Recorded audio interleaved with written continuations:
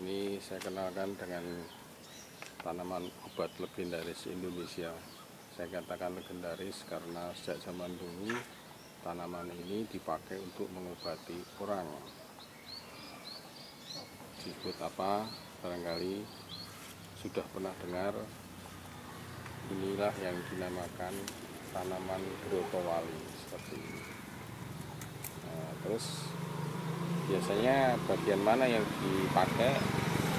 Yang adalah bagian batang yang sudah tua. Nah yang sudah tua bisa dilihat di sini. Ini. Nah yang sudah tua nanti bentuknya akan begini. Ini aja belum tua. Nanti kalau yang tua bisa sebesar ibu jari. Seperti ini. Ini adalah tanaman yang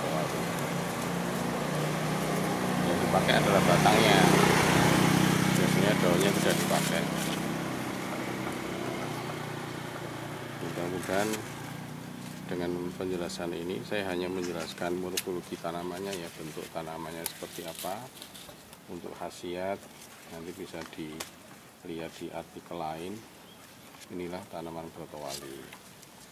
Saya sarankan jangan sampai tanaman ini punah karena kalau kita sudah tidak memperhatikan lupa dengan khasiatnya eh, tanaman ini bisa punah.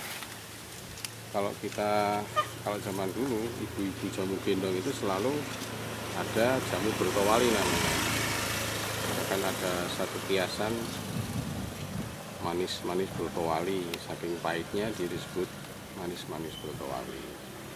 Tanaman ini cukup pahit Nah, bagi anak-anak remaja ini mencoba ini ya, mencoba bisa ditanam di sekolah misalnya ya. Nah, ini kalau jerawatan ini diambil nih getahnya yang kecil sedikit dioleskan di apa kulit yang jerawat. Katakan ini ditanam di sekolah setingkat SMA atau SMP yang anak-anak remajanya sudah mulai jerawat ini bisa dipakai. Ini, ini pahit sekali dan tidak berbahaya bagi kulit. Pakai aja.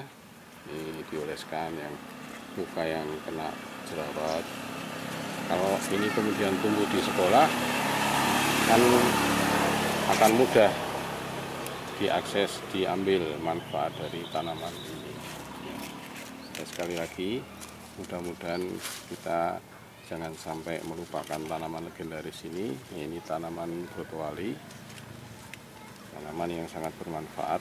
Silahkan apa lihat artikel untuk manfaat dan kegunaan di artikel lain. Ya. Terima kasih